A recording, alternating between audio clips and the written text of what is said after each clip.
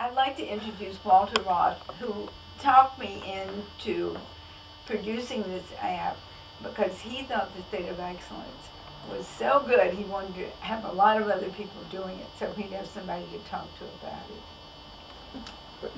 Thanks, Genie. That's, that is correct. And also, not only that it was excellent, you know, I'd, I'd come over and, and uh, Genie would uh, show me the moment of excellence. Um, I found that even though I understood it and enjoyed it when I did it with her, I wasn't doing it throughout the day.